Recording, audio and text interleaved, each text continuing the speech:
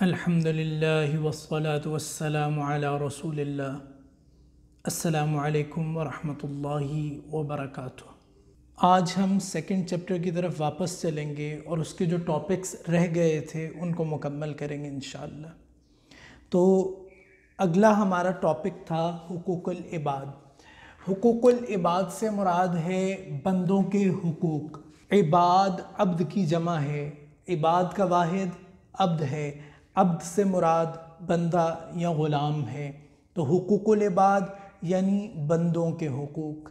اسلام میں حقوق کو دو درجوں میں تقسیم کر دیا گیا۔ حقوق اللہ اللہ تعالیٰ کے حقوق اور حقوق العباد، اس کے بندوں کے حقوق۔ رسول اللہ صلی اللہ علیہ وآلہ وسلم نے فرمایا کہ اللہ کا حق بندوں کے اوپر یہ ہے کہ بندے اس کے ساتھ کسی کو شریک نہ ٹھہرائیں۔ اور جب وہ ایسا کریں تو بندوں کا حق اللہ کے اوپر یہ ہے کہ اللہ تعالیٰ انہیں جنت میں داخل کرے اور اسی طرح کچھ بندوں کے حقوق ہیں۔ تو شرک نہ کرنا، نماز، روزہ، حج اور زکوٰۃ یعنی کہ تمام کا تمام عقیدہ اور تمام کی تمام عبادات جو ہیں یہ حقوق اللہ میں شامل ہوتی ہیں۔ اور اگر ہم دیکھیں تو عبادات دین کا صرف ٹونٹی پرسنٹ ہیں۔ دین کا باقی ایٹی پرسنٹ حقوق العباد ہیں۔ اللہ تعالیٰ نے حقوق العباد پر بہت زور دیا۔ یہاں تک کہ فرمایا فویل للمصلین خرابی ہے ان نمازیوں کے لیے۔ الذین هم عن صلاتهم ساہون جو اپنی نمازوں کو بھولے ہوئے ہیں۔ علماء نے کہا کہ نماز بھولنے سے ایک مطلب یہ ہے کہ اسے یاد ہی نہیں کہ میں نے نماز بھی پڑھنی ہے یا نہیں پڑھنی۔ دوسرا اس کا مطلب یہ ہے کہ اگر اسے یاد ہے کہ میں نے نماز پڑھنی ہے تو وہ بالکل آخری وقت میں جا کر نماز پڑھتا ہے۔ یعنی گویا اسے احساس ہی نہیں کہ میں نے نماز بھی پڑھنی ہے یا نہیں۔ تیسرا یہ کہ اگر وہ نماز پڑھ رہا ہے، چاہے وہ وقت پر نماز پڑھ رہا ہے، لیکن اسے یہ خیال نہیں کہ وہ نماز کیا پڑھ رہا ہے۔ وہ نماز میں کھڑا تو ہوا ہے، وہ نماز میں کلمات ادا تو کر رہا ہے، لیکن اسے سمجھ نہیں کہ وہ کیا کر رہا ہے۔ اور اس کا ذہن کسی اور طرف ہے۔ اور چوتھی یہ چیز کہ وہ حقوق اللہ تو پورے کر رہا ہے، نماز تو باقاعدگی سے ادا کر رہا ہے، عبادات تو کر رہا ہے، لیکن حقوق العباد میں کمی کر رہا ہے کہ جس کا درس اسلام نے، جس کا درس عبادات نے دیا۔ تو گویا جو نماز حقوق العباد کا درس دے رہی ہے، اگر انسان وہ نماز پڑھ رہا ہے اور حقوق العباد پورے نہیں کر رہا، تو گویا وہ اپنی نماز کو بھولا ہوا ہے۔ تو آج ہم پیج نمبر 34 سے والدین کے حقوق یا اولاد کے فرائض پڑھیں گے۔ والدین کے حقوق اولاد کے فرائض ہیں۔ حقوق حق کی جمع ہے اور یہ رائٹس کو کہتے ہیں، جبکہ فرائض فرض کی جمع ہے اور یہ ڈیوٹیز کو کہتے ہیں۔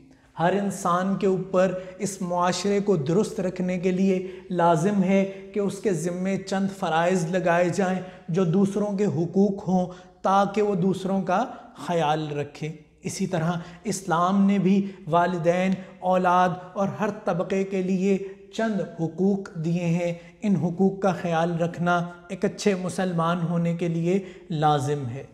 تو اللہ تعالیٰ قرآن کریم میں ارشاد فرماتا ہے اعوذ باللہ من الشیطان الرجیم، وقضى ربك الا تعبدوا الا ایاہ۔ اللہ تعالیٰ نے فیصلہ فرمایا کہ تم اللہ تعالیٰ کے علاوہ کسی کی عبادت نہ کرو۔ وبالوالدین احسانا اور اپنے والدین کے ساتھ احسان کرو۔ اما يبلغن عندك الكبر احدهما او كلاهما اگر ان میں سے ایک یا دونوں کے دونوں تمہارے پاس بڑھاپے میں پہنچ جائیں۔ فلا تقل لہما اف، تو انہیں اف تک نہ کہو۔ اف یعنی اگر وہ آپ کو کوئی کام کہیں، آپ کو برا بھی لگے، تو اس پر برائی کا اظہار نہ کریں۔ ولا تنہرہما، اور نہ انہیں جھڑکیں۔ وقل لہما قولا کریما، اور ان سے اچھی ادب والی بات کریں۔ وخفض لہما جناح الذل اور ان کے لیے اپنے آجزی کے جو پر ہیں یعنی اپنے کندھوں کو جھکا دو۔ من الرحمہ رحمت میں سے۔ وقر رب ارحمہما کما رب یعنی صغیرہ اور یہ دعا کرو کہ اللہ، ان پر ایسے رحم فرما جس طرح ان دونوں نے مجھے بچپن میں پالا۔ تو یہاں ایک نکتہ جو سمجھنے والا ہے وہ یہ کہ ہم یہ آیت عموماً بچوں کو پڑھاتے ہیں کہ بچوں والدین کا ادب کرو۔ یقیناً بچوں کے لیے ادب کرنا لازمی ہے، لیکن حقیقتاً یہ آیت بچوں کے لیے نہیں، بلکہ بڑوں کے لیے ہے۔ کیونکہ بچے تو کسی نہ کسی طرح ڈر کر بھی والدین کا ادب کر ہی لیتے ہیں۔ لیکن جب انسان کمانا شروع کر دیتا ہے جب اس کے پر نکل آتے ہیں۔ وہ کہتا ہے کہ اب میں اپنا گھر لے سکتا ہوں۔ اب میری بیوی ہے، میرے بچے ہیں، میں ان پر خرچہ کروں یا آپ کے اوپر خرچہ کروں؟ جب یہ معاملہ آ جاتا ہے، زندگی کا یہ مرحلہ آ جاتا ہے، تو پھر اللہ تعالیٰ نے فرمایا کہ اللہ تعالیٰ کو پتہ ہے کہ تمہارے پر نکل آئے ہیں۔ اب تم اڑ سکتے ہو، لیکن وقفت لہما جناح الذل من الرحمہ رحمت کی وجہ سے اللہ تعالیٰ نے فرمایا کہ تم اپنے پروں کو رحمت کے ساتھ اپنے والدین کے لیے جھکا لو۔ انہیں یہ نہ کہو کہ میں اب اپنے پاؤں پر کھڑا ہوں۔ تو اللہ تعالیٰ نے والدین کے چند حقوق بیان کیے۔ اور جہاں جہاں اللہ تعالیٰ نے والدین کا ذکر کیا، وہ بالکل شرک کے بعد کیا۔ جہاں جہاں اللہ تعالیٰ نے کبیرہ گناہوں کا ذکر کیا، بڑے گناہوں کا ذکر کیا، تو پہلے گناہوں میں شرک کرنا، والدین کی نافرمانی کرنا، والدین کی نافرمانی اور ان چیزوں کو شامل کیا۔ تو گویا والدین کی نافرمانی بہت بڑا گناہ ہے۔ تو ادھر پھر اسی طرح کا پوائنٹ کہ جس طرح کا ہم نے عبادات کے معاملے میں پڑھا تھا کہ کوئی بھی عبادت ہے، اس کے تین مقاصد، اس کی تین اہمیتیں آپ بڑے آرام سے لکھ سکتے ہیں۔ ہر عبادت کا مقصد تقوی ہے۔ ہر عبادت کا مقصد اللہ کی یاد کو تازہ رکھنا ہے۔ ہر عبادت کا مقصد انسان کو اللہ کے قریب کرنا ہے۔ آپ کو کوئی اہمیت، کوئی مقصد یاد نہیں ہوتا، یہ تین ہر عبادت میں لکھ دیں۔ اسی طرح یہاں حسن سلوک ہے۔ تو بچوں، ایک چیز یاد رکھو کہ یہ لفظ حسن سلوک ہے۔ حسن و سلوک نہیں۔ بعض بچے اس میں ادھر واؤ لگا دیتے ہیں اور اسے حسن و سلوک لکھتے ہیں۔ تو یہ حسن سلوک ہے یعنی سلوک کا اچھا ہونا۔ تو کسی کے بھی حقوق ہوں، وہ والدین کے حقوق ہوں، وہ اولاد کے حقوق ہوں، رشتہ داروں کے ہوں، ہمسایوں کے ہوں، میاں بیوی کے ہوں، وہ استاد کے، شاگرد کے، مسافر کے، کسی کے بھی حقوق ہوں اس میں سب سے پہلی ہیڈنگ آپ حسن سلوک کی لکھ سکتے ہیں۔ اور اس میں وہی آیت، وَقَضَى رَبُّكَ أَلَّا تَعْبُدُوا إِلَّا إِيَّهُ وَبِالْوَالِدَيْنِ احسانہ کہ اپنے والدین کے ساتھ احسان کرو۔ اب یہاں اکثر بچوں کے ذہن میں خیال آتا ہے کہ ہم والدین کے ساتھ احسان کیسے کر سکتے ہیں؟ تو احسان کا مطلب ہے کہ جتنا انہوں نے آپ کے ساتھ سلوک کیا، جس طرح کا سلوک کیا، آپ اس سے اچھا اس سے بہتر سلوک کریں۔ یا اگر اس طرح نہیں، تو جتنا آپ کسی بھی معاملے میں کسی عام شخص کے ساتھ سلوک کرتے ہیں، اس سے زیادہ سلوک کریں۔ تو یہ احسان ہے۔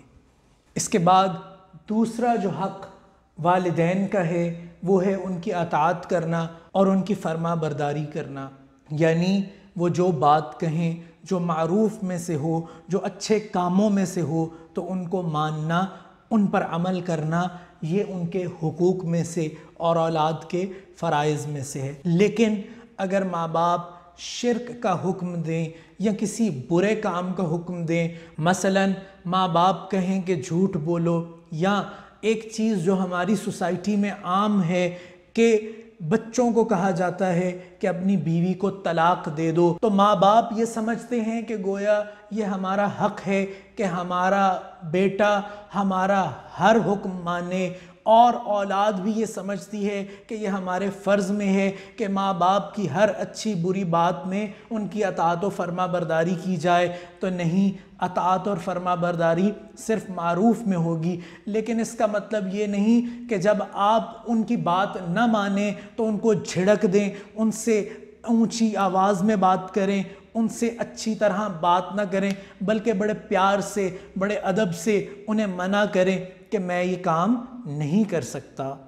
اس کے بعد اگلا جو ان کا حق ہے وہ ہے مالی اور جسمانی خدمت یعنی اپنے پیسوں سے بھی ماں باپ کی خدمت کرنا اور اپنے جسم سے بھی یعنی اپنی قوت سے، اپنے ہاتھوں سے ان کی مدد کرنا، ان کی خدمت کرنا۔ اگر وہ کھانا نہ پکا سکیں تو انہیں کھانا پکا کر دینا۔ اگر وہ تھک جائیں تو ان کو دبانا۔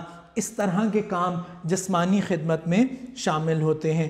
اللہ تعالیٰ فرماتا ہے مان فقتم من خیرن فل والدین جو بھی تم خرچ کرو خیر میں سے، تو سب سے پہلا حق کس کا ہے؟ والدین کا۔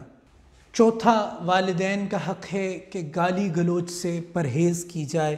جس طرح اللہ تعالیٰ نے فرمایا، فلا تقل لهما اف انہیں اف تک نہ کہو، ولا تنہرہما اور نہ انہیں جھڑکو۔ وقل لهما قولا کریما اور ان کے ساتھ ادب سے بات کرو۔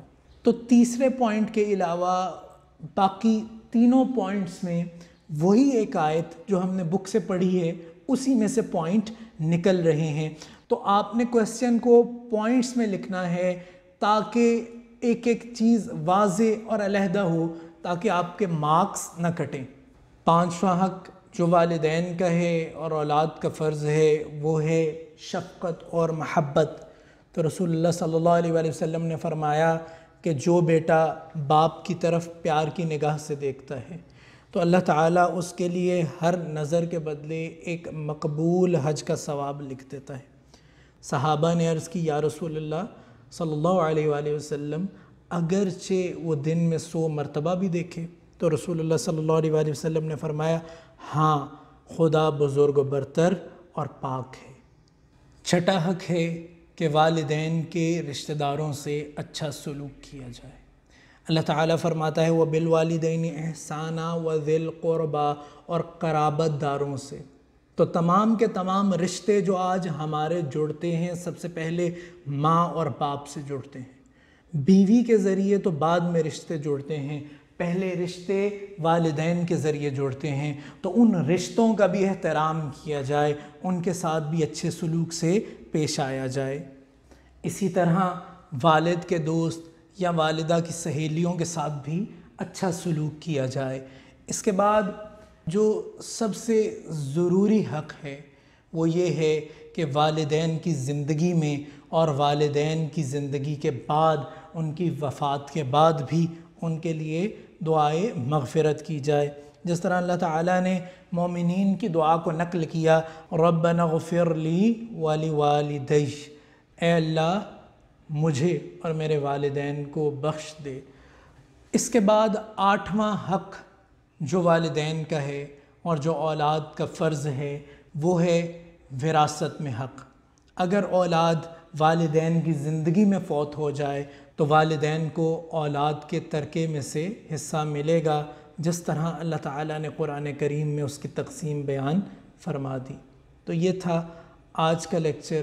انشاءاللہ اگلے لیکچر میں اولاد کے حقوق پڑھیں گے۔ اس لیکچر میں کوئی پریشانی، کوئی مشکل پیش آئی ہو تو کمنٹ سیکشن میں کمنٹ کریں یا کالج کے واٹس ایپ نمبر پر یا ای میل پر رابطہ کریں۔ السلام عليكم ورحمة الله وبركاته.